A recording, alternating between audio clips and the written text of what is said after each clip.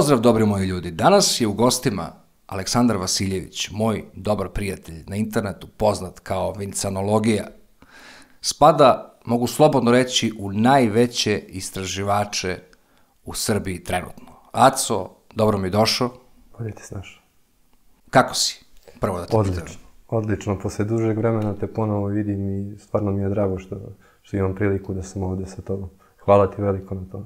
Sećam se, mi smo se družili oko kamene šume i onda je krenula ova morona i onda je sve krenulo u nekom drugom pravcu. Tako. Pa mi je e, jako drago da si ovde i da podsjetimo one koji ne znaju, da se malo udubimo u taj dosije usek. Zapravo na činjenicu da Beograđani nemaju pojma da jedan deo grada bukvalno leži na najznačajnijem nalazištu Vinče u Srbiji. Ako tako mogu da kažem, ako ne ispravi me. Slobodno. Pa nije to samo slučaj Banjice. Prostor čitavog Beograda je naseljen velikim brojem vinčanskih naselja. Imamo nekropole Karaburme 1 i 2, imamo uh, arheološki lokalitet na uh, Žarkovu, Ledine, zatim imamo Belobrdo u Vinču i svakako Usek na Banjici. Arheološki lokalitet Usek na Banjici prvi put se pominje 1929. godine. Taj arheološki lokalitet tada je otkriven sasvim slučajno prilikom izgradnje jednog puta. Prva arheološka istraživanja i ozbiljnije i, ozbiljnije istraživanje tog arheološkog lokaliteta krenuće od 1952. do 1957. godine pod vođstvom Aleksandrine Cvijanović i e, Jovana Todorovića. Oni će vršiti arheološke iskopavanja e, koja će potom prestati i više se nikada to arheološki, taj arheološki lokalitet neće istraživati. E, nećemo toliko polemisati o tome gde se on tačno nalazi, da li ovde ili ondi, o tome šta je toliko u toj meri otkriveno na tom arheološkom lokalitetu. Ali ćemo pomenuti te najbitnije i najzanimljivije stvari koje su tamo viđene. E, Viđeno je nešto što uopšte nije karakteristično za vinčansku kulturu, a to je činjenica da su građane kuće koje su upravljene u megaronskom stilu. Kuće su kolosalnih dimenzija, 20 puta 11 metara, 8 puta 16 metara, 11 puta 7 metara i ona najzanimljivija činjenica jeste to da su sve kuće, odnosno ta najveća kuća, 20 puta 11 metara, su unutrašnje strane ikonopisane. Ali nisu ikonopisane, sad da ne bude zablude, taj ikonopis e, nije ikonopis na koji smo mi navikli u našem svakodnevnom životu. Ikonopis, ikonopis se kao kao termin odnosi na svaki crtež koji je iscrtan sa unutrašnje strane. E, ti ikonopisi bili su u toj najvećoj kući. Taj megaronski stil gradnje u arhitekturi je bio poznat kao karakteristika minojske civilizacije, koja se razvija gotovo hiljadu i po godina posle vinčanske kulture i posle e, poslednjeg života na arheološkom lokalitetu Usek u Banjici. Na Banjici. Ovaj, I to je ono što je najzanimljivije. Zanimljiva je, či, zanimljiva je i činjenica koju svakako moramo pomenuti, a jeste da na prostoru minojske civilizacije mi nalazimo i veliku količinu cinabarita. Upravo taj cinabarit e, je iskopavan na arheološkom lokalitetu Šuplja stena na Avali.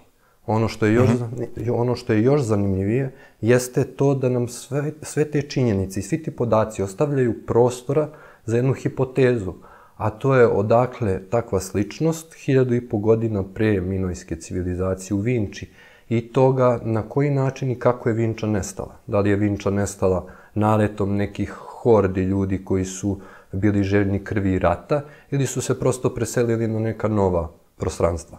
Takođe imamo i činjenicu da Grci danas, njihovi intelektualni krugovi znaju da su ti drevni Grci došli sa severa. Ako su došli zaista sa severa, onda gde je taj sever, severno od Grčke? pa mislim, to je jasno, da. Ali, e, šta sam još da te pitam još onda? Čekaj, e, na onim slikama se vide temelji, tako? Tako je. Tih, tako je. koliko si rekao, 20 puta 11? Da. Jesu li oni imali zidove? Ili je to bio, ili je to bilo nešto drugačije? Taj slučaj na, na arheološkom lokalitetu Usek ostavlja prostora da možemo da mislimo da te kuće nisu bile izgrađene karakteristik, karakterističnim stilom koji je bio svojstven vinčanskoj kulturi. Dakle, kuće na, na prostoru vinčanske kulture gradile su se od uspravnih stubova koji su potom bili isprepletani granjem, preko koga je išao lep. Lep je s unutrašnje strane neretko mogao da bude i ofarban. To je najčešće bila crvena boja.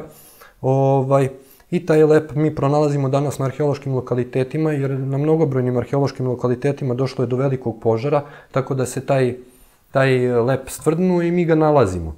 Ovaj, dok to nije slučaj kod, kod arheološkog lokaliteta Usek. Mi tu imamo slučaj da na slikama i na osnovu onoga što vidimo na slikama možemo da utvrdimo da je po prvi put mi nalazimo nešto što, što liči na čvrst materijal, na nešto što liči na, na gradnju kamena i nekog sredstva kojim se taj kamen vezuje. Što nam ostavlja prostora da razmatramo mogućnost da je zapravo arheološki lokalitet na Useku bio i jedan veći administrativni centar vinčanske kulture, odnosno vinčanske civilizacije. Ovaj, tako da... A šta ti misliš, ono, zašto je to sve zatrpano? Tačnije, zašto je tu sve izgrađeno? Mislim, kao da nisu imali gde da grade. Danas imamo i tu... Uh, uh, i, i... Deponija. Bravo, deponija. Zašto baš se sve nešto radi na toj Vinči? da se to nešto prikrije, da se to nešto pokrije, mislim. Pa mislim da se to ne radi namerno. Moje lično mišljenje jeste to da, da ovaj, jednostavno interesi savremenog društva su nekako e, prosto e, iznad svega što je kulturno, isto, od kulturno-istorijskog značaja. Znači, jednostavno sada možemo da pričamo na tu temu do sutra ujutru, bukvalno ovaj, imamo recimo E, Jaričište, arheološki lokalitet koji je nestao proširivanjem kopa Tamnava Kolubare. Možemo da pričamo o Valjevskoj gračanici koja je potopljena, koja je crkva za koju je Đorđe Janković rekao da je da se temeljite crkve ne mogu ovaj, utvrditi njihova starost i datovati u neke, zato što je toliko stara da je prosto, razumete. Zatim imamo 180 stećaka iza te, oko te crkve. Imamo deponiju u Vinči, imamo nuklearni institut u Vinči, imamo slučajeve gde se vinčanski fragmenti i grnčarija nalazi oko crkve Svetog Arhangela Mihajla, ako se ne varam, crkve Svetog Arhangela Mihajla u Vinči. Dakle, koliko daleko od arheološkog lokaliteta Vinča. Zatim imamo jel, izgradnju Đerdapa 1 i 2 gde su potopljeni takođe arheološki lokalitet Lepenski vir i mnogo drugo. Možemo da pričamo o tome kako su arheolozi bacali e, kugle e, lutke iz Lepenskog vira, nisu ni primetili da uopšte imaju neku gravuru na sebi. Pa su kasnije tražili da nađu ono što su bacili. Ja. Možemo da pričamo o tome do sutra ujutro. Ali prosto greške se događaju, propusti se do, događaju. Jednostavno to proširivanje stambenog naselja je bilo nekako u interesu u tom periodu da prosto je nadišao tu činjenicu da se jedan takav kolosalan arheološki lokalitet nalazi ispod. I onda su prosto izgradili to gore. Mada, uvek postoji mogućnost da postoji nešto više od toga. Pazi, ako smo uspeli već da sačuvamo tolike manastire i crkve, znači imamo to nešto u nama da umemo da nešto sačuvamo, prosto mi to nije jasno. Ali ajde, nema veze. Pomenuo si Aval. Na toj Avali se nalazi jedno žrnovo, koje je meni jako interesantno, pa me interesuje Da li je na njemu bilo možda nekih tragova vinče, možda pri dnu ili... Uh, život na Avali je bujao još pre 4, 5 i 6 hiljada godina. Ona je bila na, ra, na važnom raskašću puteva koji su vodili od Lepenskog, od uh, Vinče i arheološkog lokaliteta bila brdo, odnosno naselja u Vinči, do naselja u, na, na Banjici Usek i dalje na Ledine u Žarkovu ili na Karaburmi. Shodno tome u jednom momentu e, razvila se i ta potreba za tom rudom. Upravo iz tog razloga počinje da se e, započinje i život i jedna aktivnost, e, aktivna ljudska aktivnost na tom području. Tako da možemo slobodno da kažemo da taj period naseljavanja Avale prosto kreće od tamo negde 6000 godina pre nove ere i traje u kontinu, kontinuitetu do danas. Bilo je naseljeno i u turskom periodu, bilo je naseljeno i u periodu e, srpske despotovine, srpskog carstva i tako dalje. E, sam, sama gradnja, gradnja e, spomenika neznanom junaku i ono što je meni fascinantno jeste da se nigde ne pominje u arhivama spomenik neznanom junaku, već e, izgradnja hrama. Prosto svako zdravorazumno biće bi se zapitalo kakvog hrama, ako je već... Masonsko. Definitivno. Definitivno. Prilikom rušenja samog samog grada i kasnije imamo informaciju da su, da su ljudi koji su tu radili naišli na nešto. E, naišli su na nešto zaista veliko kada je ta vest došla i do samog kralja. Međutim, procena samog kralja bila je ta da to treba da se ostavi za neka nova pokoljenja. Tako da je to zatrpano, a hram je izgrađen. To je, vidiš, jako zanimljiva informacija, viš, to nisam znao. Da, postoje mnogo, mno, mnoge zanimljive stvari kada se čovjek popne gore navalo. Recimo, iza spomenika, ne znam, junaku, kad se spustimo stepenicama, svakog, svakog bi posavjetovao da malo prošeta u krug i da prošnjuje i da pro, po, pogleda. Možda bi našao nešto zanimljivo. Možda neki šestar je to. Pa, vrlo verovatno. vrlo verovatno. Dobri moj. Kako sve počelo? Kako se stvorila ta civilizacija? Pa, misliš kako je krenula civilizacija ili kako je krenulo istraživanje na prostoru te, na prostoru te? Istraživanje je krenulo 1908. godine, e, istraživanje odpočinje profesor Miloje Vasić, kustos Narodnog muzeja u Beogradu.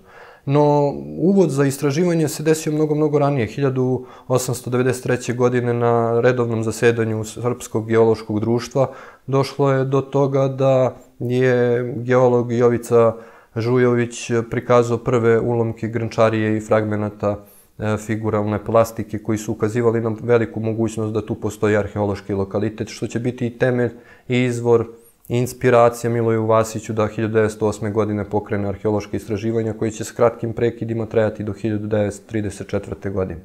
Međutim, ono što je najzanimljivije što redko ko zna jeste mm. da prva arheološka istraživanja na prostoru Srbije, a vezana za vinčansku kulturu nisu bila za uh, arheološke istraživanja u Vinči, već za arheološke istraživanja na arheološkom lokalitetu Jablanica kod Aranđelovca 1907. godine.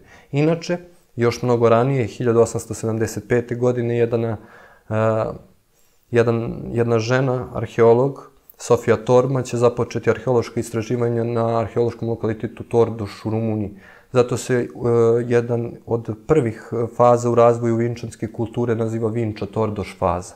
1908. godine, posredstvom svojih poznanstava i prijateljstava, Miloje Vasić će stupiti u kontakt sa uh, Fjodorom Uspenskim, direktorom tadašnjeg instituta za proučavanje e, vizantologije e, pri Akademiji nauka i umetnosti Carske Rusije. On će biti pokrovitelj istraživanja i istraživanja će trajati sve do 1914. godine. U tom periodu Miloje Vasić otkriva mnoge, mnoge arheološke artefakte koji po njemu zapravo Vinču opredeljuju u jednu, e, jednu etapu u razvoju minojske civilizacije, odnosno minojske kolonije. Međutim, savremena arheološka istraživanja pokazat će da je to bila jedna sasvim, sasvim zasebna kultura i civilizacija. Ono što je takođe zanimljivo jeste da, i treba se pomenuti, jeste da na prostoru e, Republike Srbije danas postoji 700 arheoloških lokaliteta iz perioda Vinče. Otkriveno je, ajde da kažemo, 70. To znači da sve ono što do danas zna, znamo i o čemu sad u ovom momentu govorimo, govorimo samo na osnovu 10% otkrivenih činjenica, artefakta i podataka. I što mi je, na primjer, to mi je sada, pogleda se ta Vinča, tako najveći deo je ovde, na ovim prostorima. Pa onda oni rimski carevi, koliko ih je beš ovde? 17? 17, ako se ne varam. Da. Šta je to ovde toliko specifično? Ovde su se prosto lomila koplja koje, koje nekako ni mi kao narod se nikad nismo davali, pa tako e, onaj koji je znao sa nama uzdizao se u velike visine, nebeske visine, postojala su carstva i imperije. S druge strane, onaj koji nije znao sa nama, pa nije znao da položi koplja, e, određivala se sudbina budućnosti tog carstva upravo na ovim zemljama. Zato smo i mi dali 17 rimskih careva sa ovih prostora. I onda, na primjer, e, sad u novijoj istoriji imamo Kosovo i Metohiju, tako? Tako je, tako je. Tu imamo mnogo veliki broj manastira. Tako. Sada postavlja se pitanje da li smo mi te manastire toliko gradili samo da bi to pokazali Turcima, da smo mi moćni ili se tu nalazi nešto specifično. Pričao si mi pre nego što smo počeli ovaj intervju o jednom čudnom delu i događajima u, u Rošavcu. Da, govorimo, govorimo Šta se tu o mestu mestu Mogila i o jednom lokalitetu koji je jako zanimljivo. Nije u arheološkom smislu toliko puno istražen. Postoje predanja, postoje slike, postoji priča i tu priču ćemo ispričati, jel? Ovaj, ali opet kažem, u arheološkom smislu nije nešto istraženo. De facto ide i se radi o tome da tu postoji aktivnost ljudi. Ovaj, radi se o mestu Mogila, o Mogila označava, u, označava grob iznad umrlog. I to je najverovatnije na osnovu same veličine te e, mogile e, bio jedan vrlo, vrlo imućan čovek. Na vrhu same mogile nalazi se crkva Svetog Teodora Tirona, a tokom nemira 2004. godine tu je bila stacionirana jedan, jedan mali odred američke vojske. Ta američka vojska se zadržala, zadržala vrlo, vrlo kratko, nekih možda 3 do 5 dana, ne više. I e, vojnici su nadređenima prijavljivali čudne zvuke, vibracije, nervozu, e, nesanicu, tako da nakon 5 dana oni su prosto napustili to mesto. Naravno, to mesto nisu napustili praznih ruku, kao što to biva. Jel?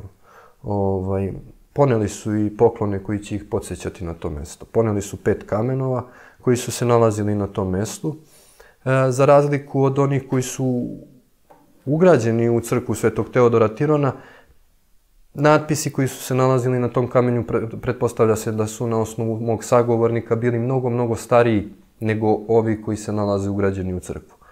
E, mm -hmm.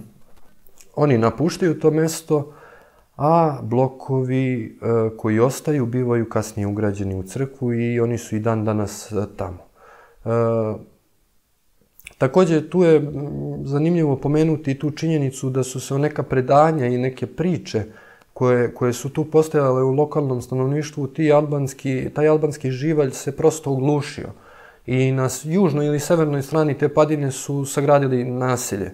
Međutim, jedna po jedna kuća prosto je počela da napušta svoja ognjišta koje su tek podigli. Opet prijavljivali su čudne zvuke, urlike, krike, e, nesanicu, čudne vibracije i prosto su otišli. Ostala je samo jedna porodica koja po rečima mog sagovornika nije baš psihički stabilna.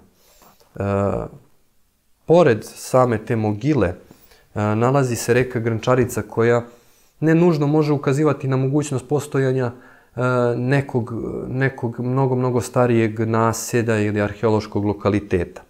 Na samim kamenovima nalaze se različiti simboli koje možemo opredeliti u određene periode, tako da možemo ih staviti najviše u, u period, pa mogli bismo rekli, reći slobodno, period nekih ilirskih plemena vide se i neka, kos, neka zvezdana sazvežđa, e, ali ono što je meni naročito privuklo pažnju jeste simbol Sovila. Simbol Sovila se najviše koristio kasnije kod Slovena i označavao je mesto koje predstavlja oltar.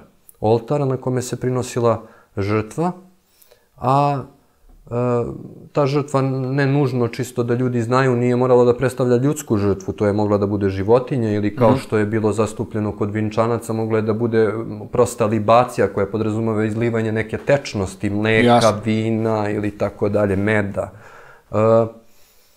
Dakle, prinošenje žrtve. Kod mogila mi znamo da mogile služe za, imaju dve svrhe. Jedna je religijska, Upravo ova koju sam rekao, prinošenje žrtve. A druga je prosto vojno-strategijska. One su bile visoke i prosto čovjek je mogao da se popne i da nadgleda kretanje eventualnih neprijateljskih e, jedinica. Ako uzmemo konfiguraciju terena sela Mogila kod Uroševca, prosto se vidi ta jedna kotlina gde su brda sa leve i desne strane, prosto jedna je zaravna, tako da postoji mogućnost da se Mogila koristila i u religijske i u vojno-strategijske svrhe. A, prosto sam, same te činjenice ukazuju na mogućnost da je tu bilo i neko nas. Pričao si mi o raznim arheološkim lokalitetima, ne moramo samo da se uh, držimo Vinče, nego tako nekih interesantnih. Koje bi ti izdvojio? Pa po meni dva lokaliteta ili, ali prosto je teško sada izdvojiti par njih koji su Ali hajde Jasno, da... ali, ali ajde kažemo, na primjer, oni koji su imali neke da. specifične stvari koje da. su pronađene ili neki koji su ultra stari. Može. Ovaj, onda ćemo da odvojimo Medvednjak i Belicu, a pomenut ćemo i još neke. Medvednjak je jedan fascinantan lokalitet. Na tom lokalitetu pronađeno je 4 e, do 6 lula. E sada, ako mi znamo da su da je prvi duvan u Evropu došao tek posle Kolumba u 15. veku, onda se pitamo šta su to drevni vinčanci pušili. Jel? Iako, da. iako su pušili, ako nisu, za šta je to služilo, jel? Na tom arheološkom lokalitetu nalazimo i džepni kalendar koji je bio lunarnog tipa i najverovatnije služio za praćenje menstrualnog ciklusa kod žena. E, takođe nalazimo jednu zanimljivu figuru, tačnije više, ali ja hajde pomenut ćemo par, recimo božanska porodica. Mm -hmm. Figurina koja predstavlja majku, oca, sina i kćerku, a koja nam predstavlja tu dubinu svesti doživljaja porodice i društva drevnih vinčanaca. E, zatim možemo i zasigurno najfascinantniju izdvojiti tu figurinu mislioca. E, gotovo 5000 godina pre e, Rodena, drevni, drevni vinčanski vajar će izvajati figurinu čoveka koja će biti danas poznata kao mislioc. I sada ja prosto kad sam to video i onako razmišljajući dugo na tu temu, zapitao sam se kakva je svrha trošenja toliko količine novca da odemo i da posetimo Louvre ili tako neke muzeje na zapadu Ne mora to da je Louvre. Tamo negde u Italiji, Nemačkoj, u Engleskoj. A imamo jedan požarevac koji nam je tu. Eto iza brda. I koji krije tako, tako dragocene, dragocene, ili Smederevska palanka, recimo, koja krije tako dragocene ovaj, figurine i, i e, deliće istorije koja se živela ovde na našim prostorima, mi je prosto ne, ne posećujemo. Pa, znaš, ono, zato što to nije dovoljno popularizovano, znaš, nema na TV-u, a pa, ovo imaš na TV-u, imaš, morat ćemo imaš malo više da radimo. ponudama. Da, morat ćemo malo više da radimo na tome. Onda tu, pored, pored e, medvenjaka, možemo pomenuti i belicu. Belica je čudna po tome što prvi, prvi e, život, prvi, prvo bujanje života na tom arheološkom lokalitetu počinje negde oko 8000. godine do 9000. godine pre nove ere. Što je stavlja u mlađu fazu kulture lepenskog vira. Ona se, postoje tendencije, razvija potpuno samostalno, izolovano nekako. Ali tu je pronađen niz predmeta, negde oko 170 figurina, od kojih su najveću, najveću pažnju javnosti privukle one koje predstavljaju razviće bebe od samog začeća do rođenja, unutar majčine utrobe. Wow. E, samo naselje je bilo kružno, imalo je izdvojeno svetilište, e, unutar zidina, odnosno unutar palisada na tom svetilištu, ovaj, kuće su bile geometrijski, geometrijski raspoređene, tako da nisu bile u onom ustaljenom vinčanskom da su bile podjednaki, jednaki, nego ste imali trouglaste, kockaste i tako različiti geometrija u, ukomponovane u taj jedan krug. U centralnom delu da. tog kruga bio je, bio je ogroman bunar, unutar koga su i pronađene te, te figurine. I čekaj, to je 8000, koliko se oko 9000 godina staro? Život počinje na tom lokalitetu negde između 8000, 8000 i 9000 godine, a taj predmet je datovan na period između 6200. godine pre nove ere i 5600. godine pre nove ere. Dakle, taj neki period između. Između. Da, da, da. Onda od tih nekih lokaliteta možemo izdvojiti recimo Drenovac, jedan fascinantan lokalitet za koji mi je drago da se radi na njemu i uskoro će biti onako adekvatno turistički prezentovan da se poseti nešto poput Lepenskog vira, odnosno ono, onoga što je od Lepenskog vira ostalo nama za pokoljenja koja dolaze. Ovaj, a na tom lokalitetu su pronađene kuće na sprat. Kuće na sprat? Da. Imali su prvi i drugi sprat. To se utvrdi na osnovu lepa. Kada se kuća zapalila, lep je pao, ostao je, ostao je, ostalo je dno, jel? Vidi se jedan sloj, vidi se drugi sloj i utvrdi se da su kuće bile na spratu. Onda, onda možemo pomenuti arheološki lokalitet, recimo rondelu kod, na Ceru, e, koja je datovana negde oko 5600. godine. Rondela je najverovatnije e, služila u religijske svrhe jer ne postoje stambene, stambeni objekti na, na njoj. E, bila je izdvojena palisadom i rovom, kružnog oblika, zatim u centralnom delu je bila još jedna kružna, kružna kao e, brdo, na čijem se vrhu ponovo nalazila palisade, a u centralnom te, delu te gornje palisade nalazio se ogroman bunar koji je na vrhu bio širok 5,6 metara, a sužavao se kasnije dok je došao na jednu kocku koja je bila 1,3 puta 1,4 metara. Da. Ta rondela je najverovatnije e, da je taj e, bunar koji se nalazio na njenom vrhu služio za praćenje nebeskih tema i njihov odraz u vodi koja se nalazila unutar bunara. Stvarno? Da. Viš, da, bravo. A mislim. znatno je stariji od Stonehenge. Onda tu možemo pomenuti recimo e, i fenomen obrovi, obrovika u Mačvi recimo, gde se na desetine i desetine brda nalaze onako kako vire iz te plodne ravnice. Na tim brdima nije pronađeno više od dve kuće. Bilo je namenjeno za život jedne do dve maksimalno porodice sa određenom štalom, pratećim objektima, prostorom za uzgajanje i čuvanje životinja. I to su bile, e, još uvek se radi i tek se planira istraživanja arheološka na, na tim lokalitetima, tako da po pitanju tih obrovika mi još uvek ne znamo e, kako su služili, da li su bili deo vinčanske kulture, tu smo malo e, onako tanki sa informacijama, ali za sad ovo što se zna, to je ovo što sam, što sam i rekao, ima ih na desetine onako kada se pogleda na karti baš je zanimljivo. Ovaj, bili su dakle, na tim brdima koje su služile radi odbrane od prirodnih, prirodnih e, e, nepogoda koje bi eventualno zadesile tu oblast poplave ili tako nešto.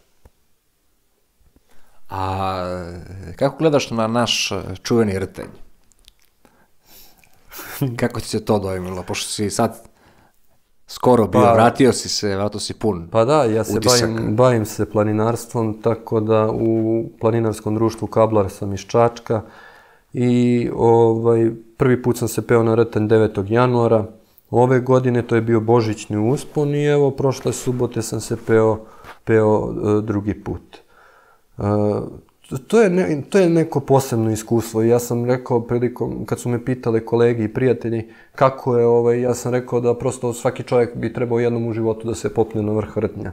E, de facto i de gore postoje svakakve stvari.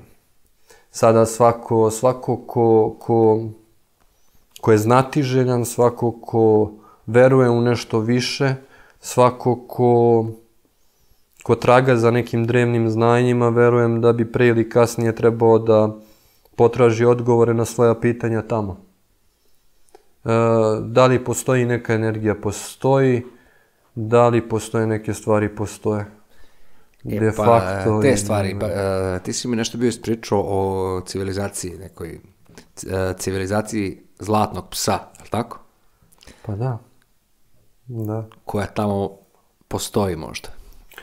Ne moraš naravno, mislim da otkrivaš sada baš tačne Pa, lokacije. Gledaj, te, te drevne civilizacije, njihova otkrića se tek trebaju, tek trebaju obznaniti. Imamo piramide u Visokom, imamo Rtanj, imamo megalite na Juhoru, imamo kugle u Priboju, imamo kugle u, na Povlenu. E, Dakle, postoje ti fenomeni koji se, koji se susreću i koji prosto nisu, koji su prosto izvan, izvan granica ljudskog poimanja izvan granica poimanja savremene nauke, za koje nauka deklariše kao, kao fikciju, kao prosto plod ljudske mašte. Međutim, kada pogledate takve neke stvari i kada se nađete u oči u oči sa njima, na nekoj možda u određenim momentima i viš, više razini, onda prosto, prosto shvatite da to i tekako postoji. Naime, ajde pomenuću, pomenuću, kada, se spustite sa rtnja i kada siđete pre ulaska u šumu u jednom predelu gde, gde je rastinje onako malo niže, ovaj, i kada pogledate preko ramena s leve strane, primetit ćete nizove, nizove kao zidova. Zidovi su pravljeni u određenom rasporedu, razdvojeni jedan i od drugih i tako postoje tri niza. Prosto se vide blokovi, prosto se vidi da, da nije prirodna formacija. Naravno, svi izbjegavaju da, da vrše neka veća arheološka istraživanja na, na tom prostoru. Ovaj, takođe, Šta, ili ima neke... Pa pazite, ako govorimo sad o zvaničnoj nauci, onda postoji keltsko svetilište na južnoj padini, na južnoj padini o, Rtnja. To keltsko svetilište je bilo ovaj, vrlo živo, vrlo naseljeno. Postoji mnoštvo arheoloških artefakta koji ukazuju na život koji su Kelti aktivno vodili na prostoru Rtnja. I još tada ovaj, Rtenj je najverovatniji iza njih, a svi znamo kakvi su Kelti predstavljaju jedno sveto mesto. I to je ostao i do dan danas. Predstavljaju sveto mesto i u ta drevna vremena. E, svetilište ima puno. Kult zlatnog psa.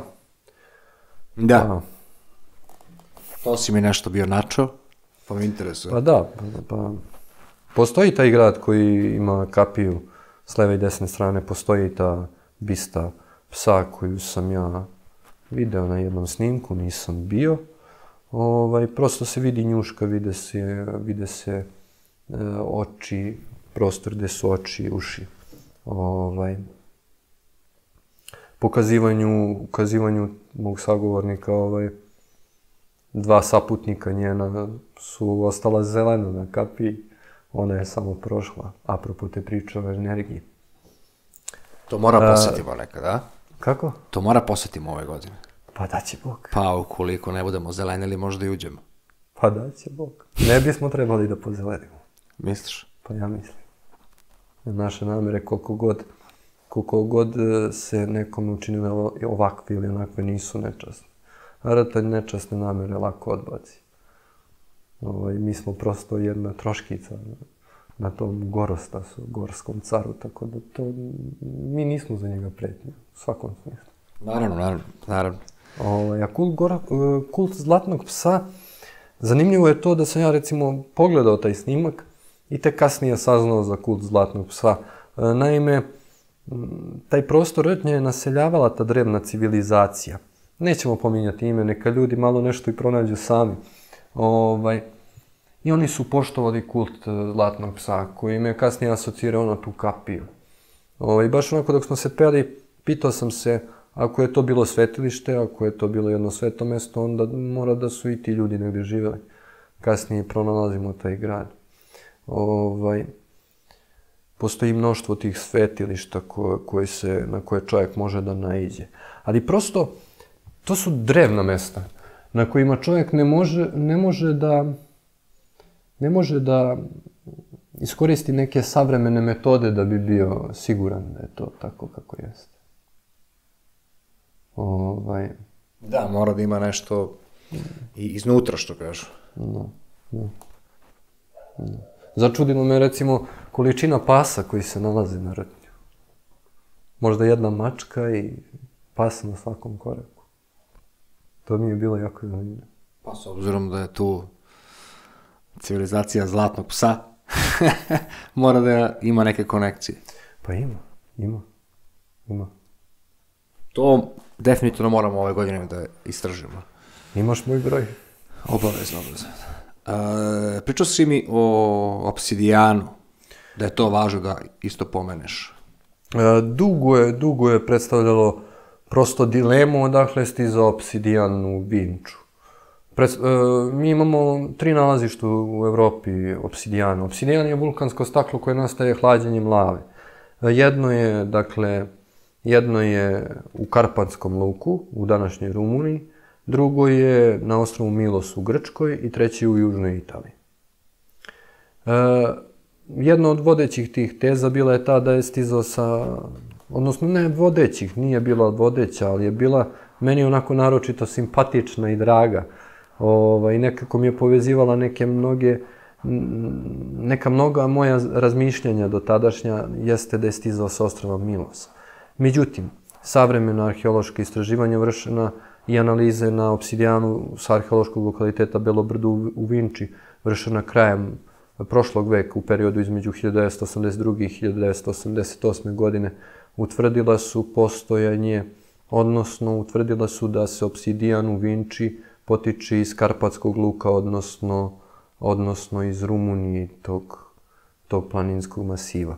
E sada, zanimljivo je i to da imamo recimo jedan od najvećih distributivnih centara obsidijana u vreme Vinče, to je arheološki lokalitet Kremenja kod, kod Vršca.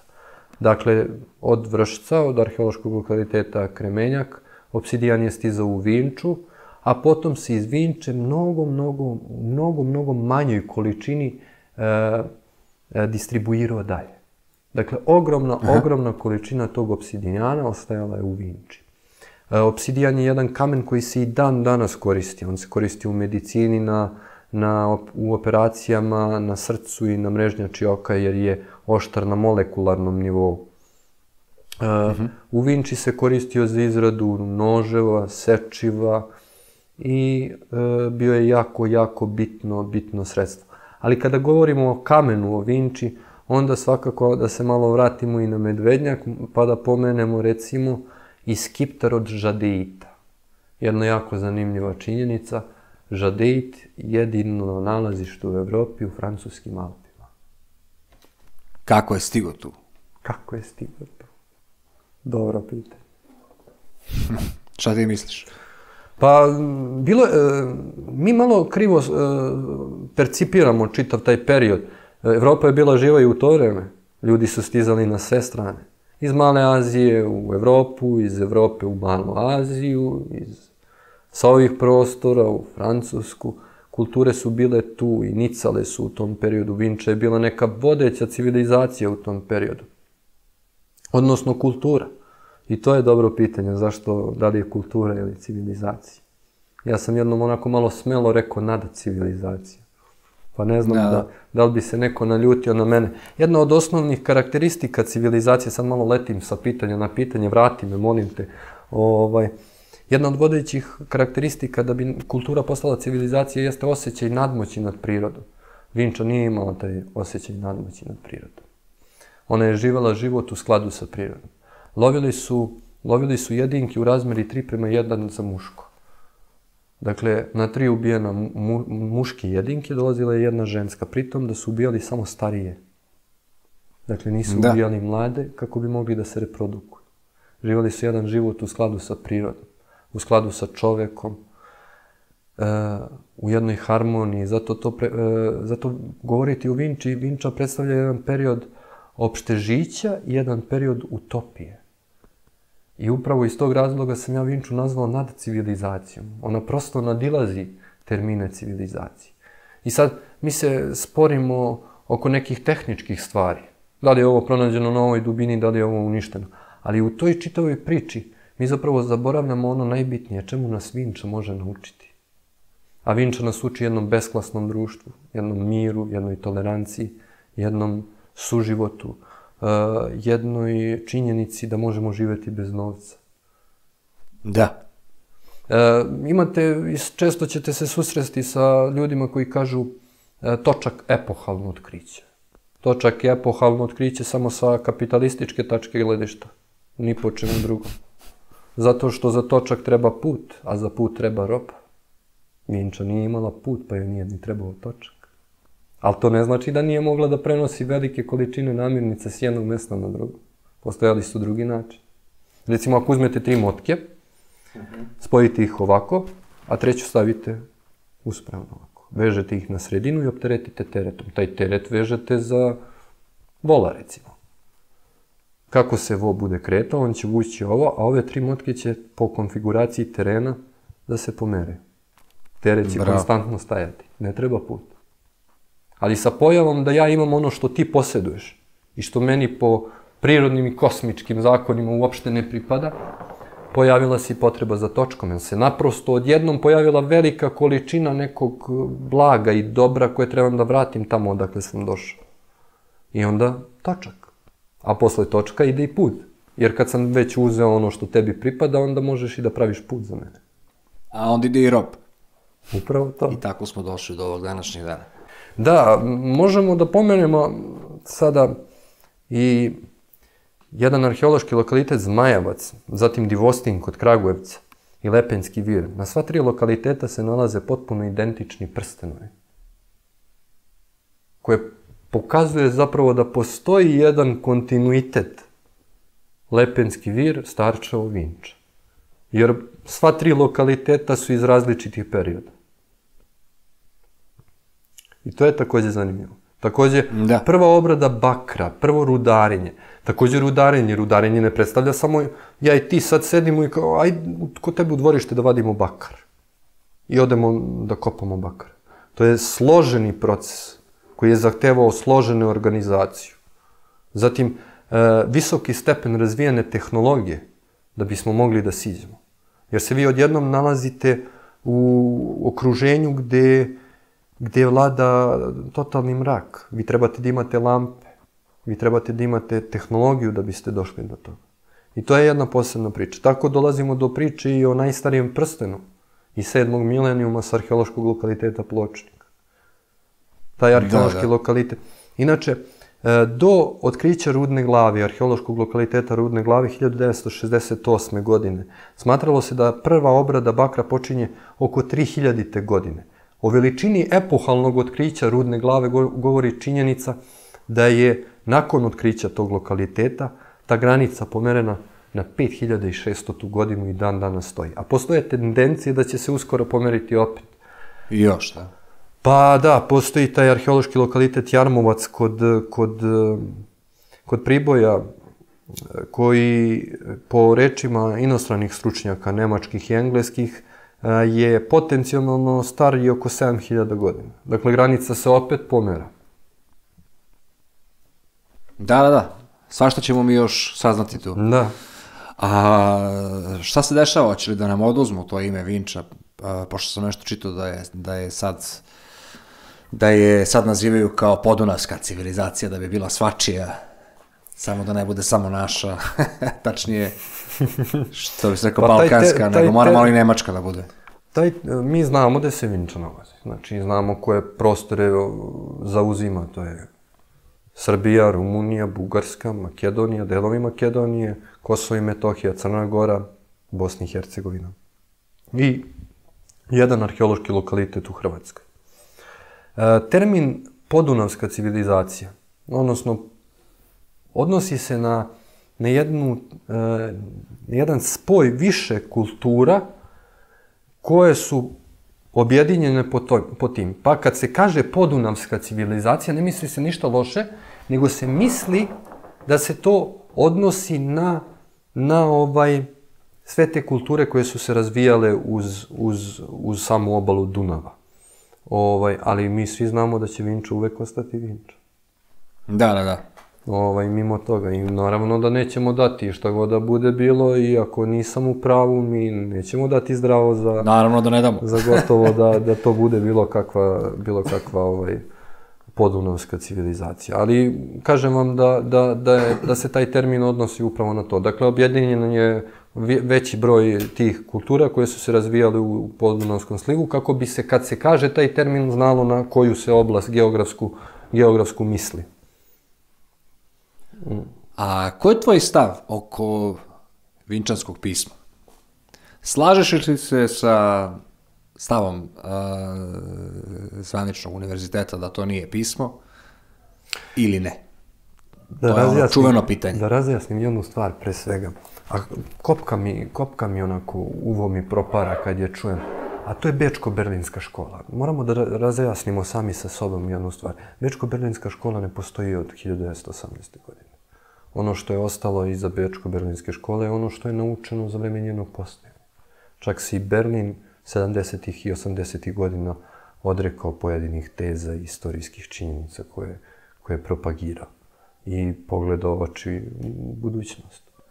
E, postoje neke druge institucije koje su koje predstavljaju ako me razumeš šta želim da kažem, mm -hmm.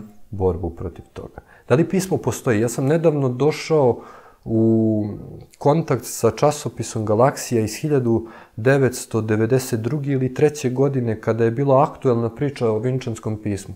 I tu sam saznao recimo da je u čast otkrića vinčanskog pisma e, Brazilski univerzitet e, E, Brazilski univerzitet izvršio razmenu studenta sa evropskim univerzitetima u Francuskoj i Italiji kako bi oni bili bliži izučavanju tog vinčanskog pisma.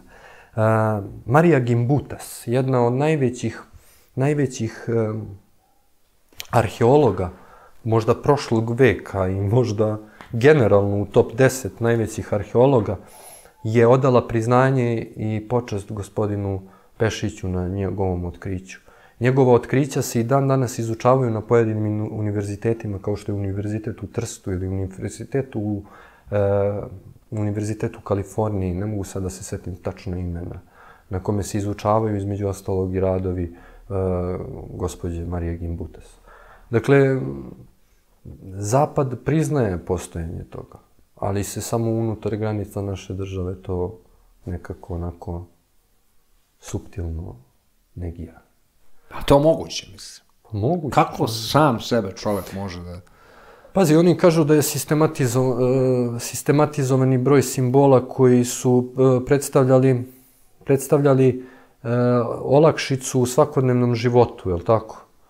Ovaj, međutim, nije tako.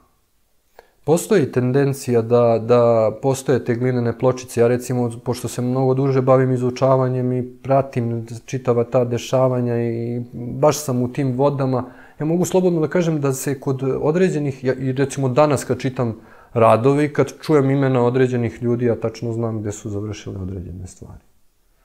Ako me razumeš šta hoću da ti kažem. Da. Nećemo, da.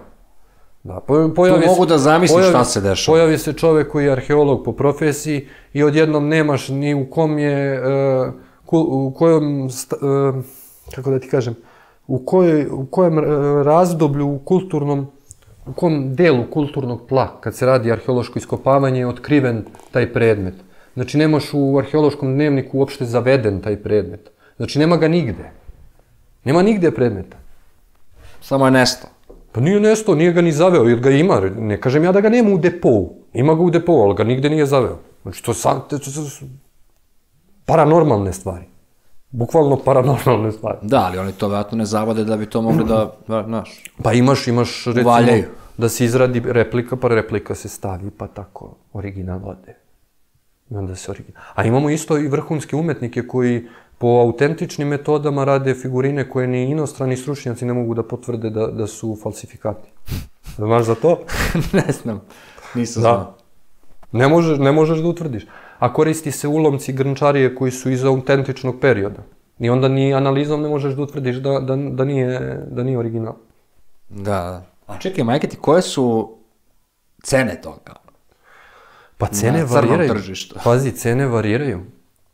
Variraju. Recimo, evo, ja sam bio izrevoltiran pre neko veče, ušao sam na kupujem, prodajem. To je strašno. To je strašno. To je strašno.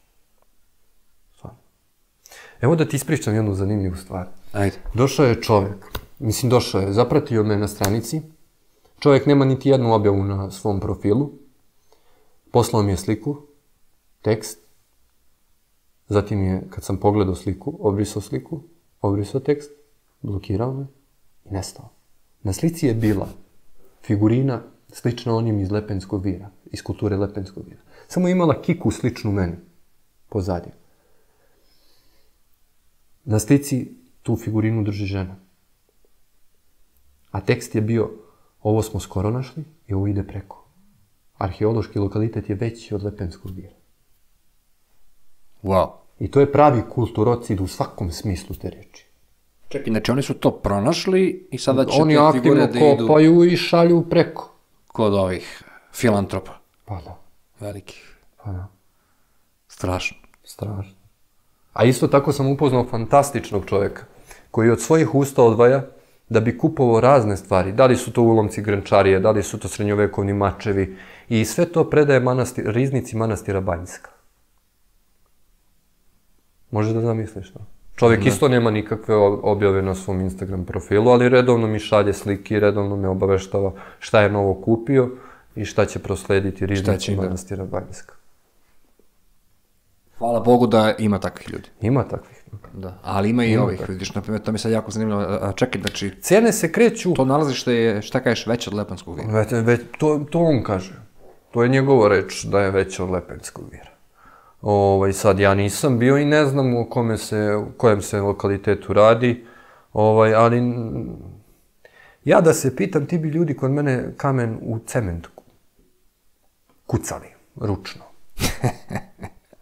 Nemoj biti tako stroga. šalim se, šalim se. Mislim, da, kapiram. Uh, cene, evo ti recimo, možeš da uđeš kasnije kad budeš imao vremena, uđi da kupujem, prodajem pa pogledaj. Znači, cene ti se kreću, ne znam, od 4000 dinara za dve posude. Naravno, to je diskutabilna, diskutabilna autentičnost tih, tih predmeta, ali recimo ja sam video za 80 eura lot čitav iz, sa arheološkog lokaliteta Belovoda. A pritom da ne pričamo o tome da je sam čin toga da vi odete na jedan arheološki lokalitet krivično delo po zakoniku Republike Srbije. Da. Znači vi ne smete da idete ni na jedan arheološki lokalitet i da kopate. Znači ja kontaktiram ženu, reku koja je cena, kaže 80 evra. Gde ste iskopali? E, na Belovodu me informiši se na internetu. Znaš, da, reko, znam, smo, znam gde su Belovode. A Belovode je senzacionalno otkriće rudnik, e, rudnik Bakra. 5400. godina pre nove Pritom i nas.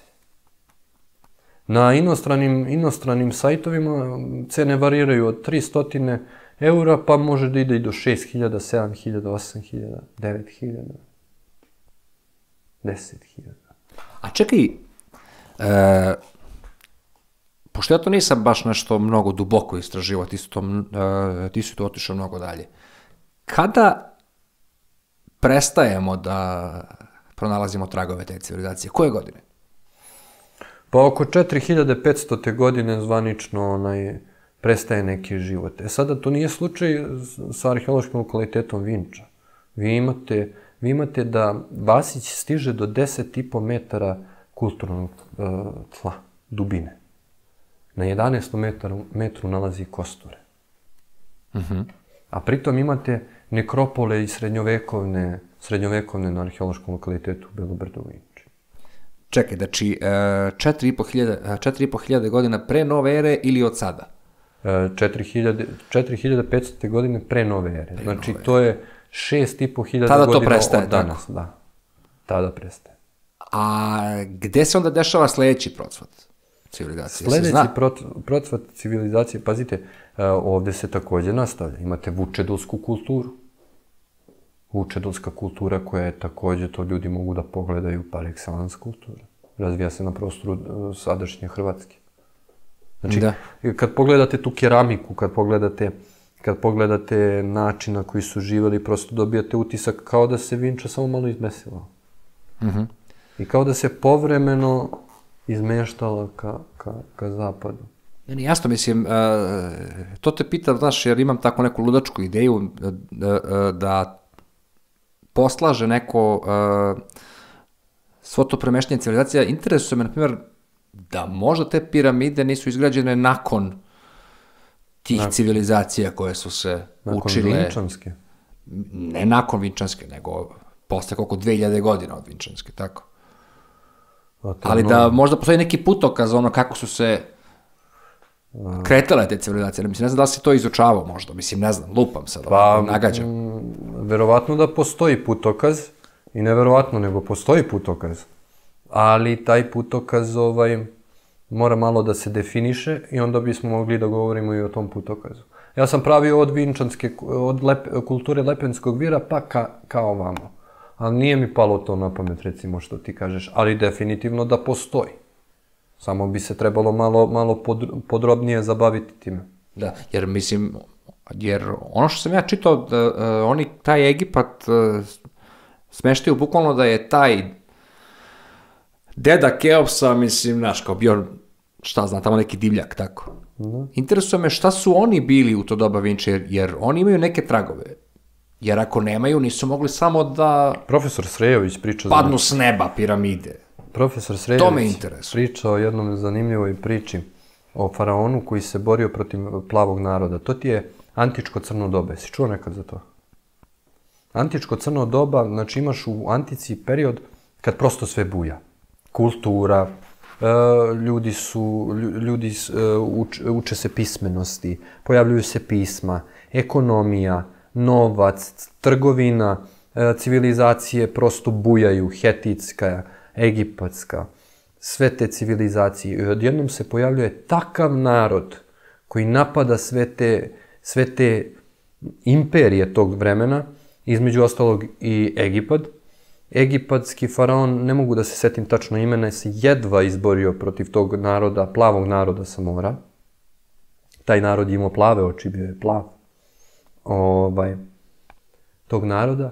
I nakon toga nastaje uh, antičko crno doba. Mračno doba.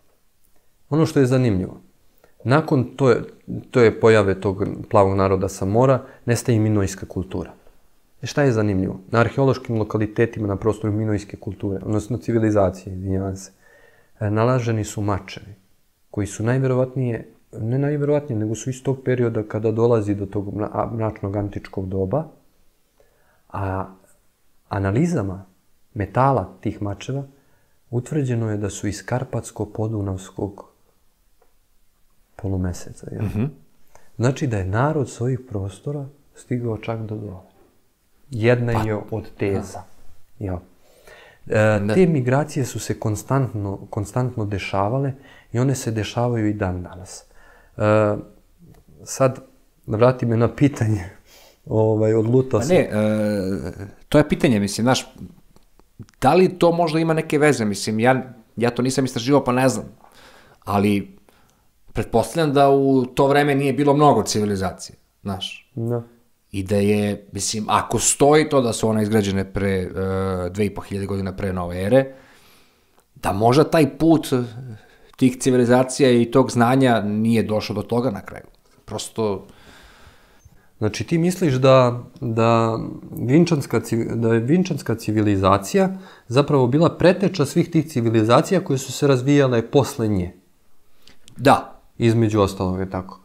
Pazi, u nekom tehnološkom smislu mi možemo da govorimo o tome da, da, je, da je vinčanska civilizacija bila preteča neke, neke, neke e, kasnije, civili, e, kasnije civilizovanog sveta. Moja granica do koje ja idem da je Vinča preteča je minojska civilizacija i etruska civilizacija. Ja ne idem dalje od toga.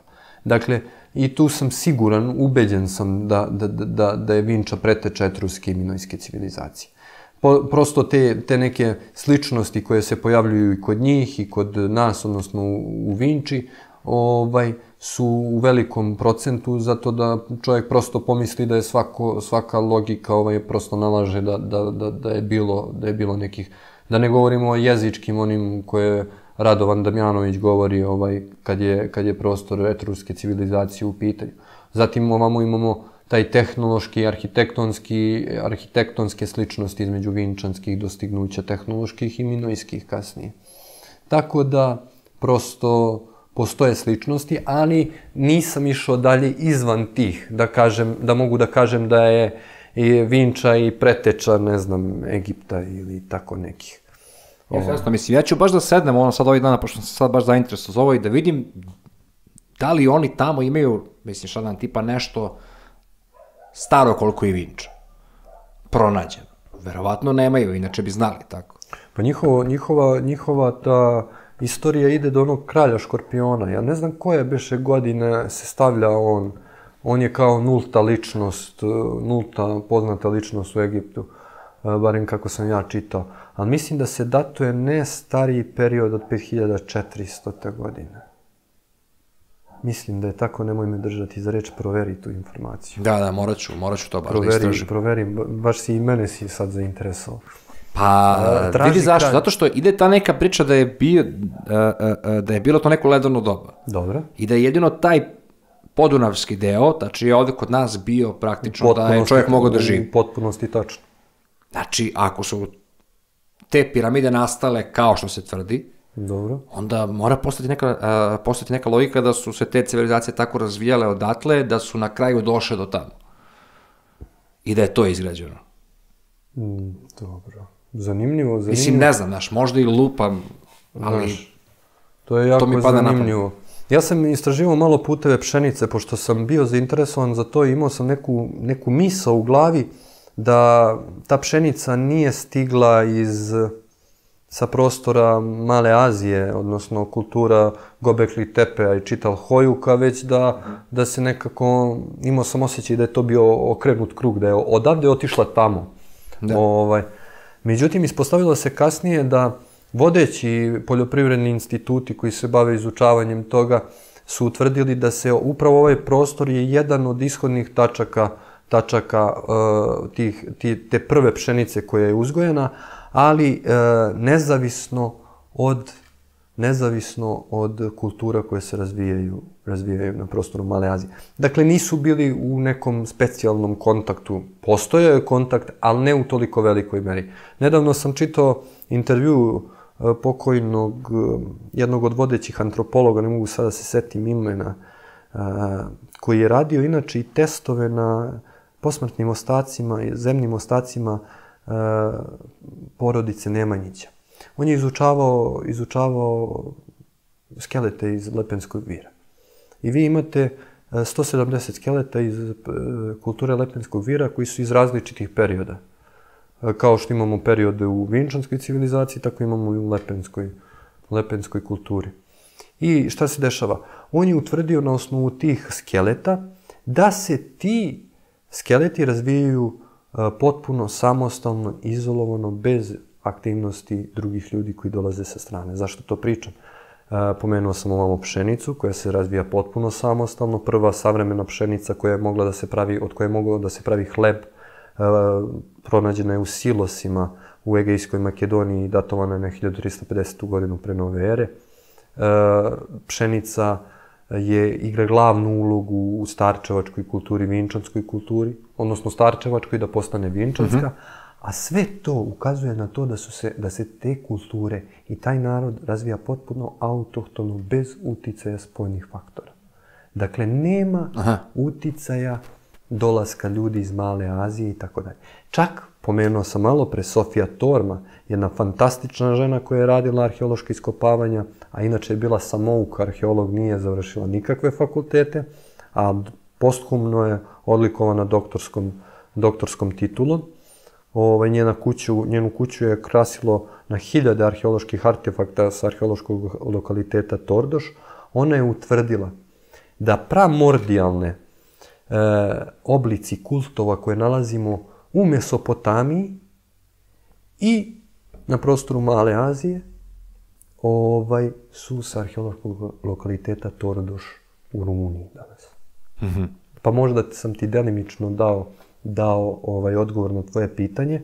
Ovaj, dakle, postoje tendencije da je ta migracija išla odavde tamo, ne u toliko velikoj meri, ali je postojao živi kontakt između ljudi, a to je najbitnije, jer tu imate razmenu informacija, razmenu svega. To sam pokupio zato što si mi ti isto još onda, ali sad više ne mogu svetim šta si mi tačno rekao, da su neki egipatski predmeti isto pronađeni. U neku, uh, stavio si ih u neku konekciju sa Vinčom, pa me je to verovatno pobudilo. Uh, to Mislim, malo, ne baš sa Vinčom, da, da, nego, nego kad smo da je pričali bilo, da je bilo kontakta. Pa, pazi, postoje, od, uh, jeste, to je, to je ovaj tumul Kneževe grobnice u Pilatovićima kod Požige, gde je otkriven Skarabej, dakle, egipatski e, Skarabej, tako. Ove, e sad, šta se dešava? To je Kneževa... Otkud taj Skarabej tu? Pa Rimljani su imali e, egipatske strelce u svojim vojnim e, odredima. Aha. I onda najverovatnije da je taj Skarebej na taj način stigao, stigao i do ovde. Ova, e sad, u, postoje u, u uh, etnološkom smislu narodna nošnja ljudi sa prostora oko grada Prizrena, recimo. Imaju slične naglavke, mislim da se naglavak zove. Uh, Uh, onaj deo koji se stavlja na kapu, ženska nošnja, baš podsjeća na, na onaj gornji deo faraona. Ali dobro, da. to je sad da ne idemo predaleko. Pa, Znaš čak i ovaj uh, severno-španski narod, beš, kako se zove, Baski. Uh, baski, Baski. Jesi vidio njihovu narodnu nošnju? Jako je slično. A znaš da... Ja, mislim, pazi, baš je slično. Mislim, nije isto, ali vrlo slično. Recimo, ja sam iz Kraljeva, kroz Kraljevo protiče reka Ibar a jedna od verzija na, nastanka imena te reke jeste od e, baskijske reči koja označava upravo reku. Bravo. A za njih se kaže da su potekli iz Male Azije i da su migrirali preko Evrope ka, ka, ka tamo. Imaju potpuno izolovan jezik koji se u potpunosti razlikuje i mnogo je sličan jermenskom, čini mi se. Ovaj, jermenskom jeziku. Ali tu i Marija Gimbutas dosta pomaže, ona je rodonačelnik, rodonačelnik te hipoteze o prapostojbi evropskih naroda. Ovaj, ona smešta tu, tu kolevku indoevropskih naroda na prostor današnje Ukrajine, da, da, ovaj, da dolaze uh, drevni, drevni lepenci na prostor današnje Evrope. Mada, moje lično mišljenje, ja se ne bih složio sa tim. Ona svoje istraživanja temelji, sad to je pretenciozno, pre, pre, pre nadobudno s moje strane da ja kažem ne, tako nešto za nekog ko je posvetio čitav svoj život proučavajući, ali ona je proučavala na temelju mogila, kurgana i tako dalje. A taj, taj obred sahrane mi nemamo kod drevnih lepenaca, vinčanaca i starčeva. Aco, hvala ti puno što si bio moj gost i što si ispričao ovoliko informacija. Treba će vremena da se ovo sve stvari. Želim hvala ti sve te. najbolje. I ja tebi takođe. Uh, vidjet ćemo se mi naravno još, obići ćemo pa. sa ovčara i kavlara. Tako je, tako je, tako je. Tako je. To će možda ja da uradimo neki rekao, video. Ovaj, kad god te put nanese i kad poželiš da dođeš, samo me pozovi, par dana za tebe, odmor, da se malo povratiš, pošto ne izlaziš iz kancelarije čoveče. Jeste. Ne izlazi. Javi si da se popnemo i do Ovčara, i do Kablara, i do Debele gore, da posetimo neki manastir i tako. Obavezno. Hvala ti veliko. Eto, dobri moji ljudi, nadam se da vam je ovo bilo zanimljivo kao što je meni, da ste saznali mnogo novih stvari. Do sledećeg viđenja. Pozdrav, dobri ljudi!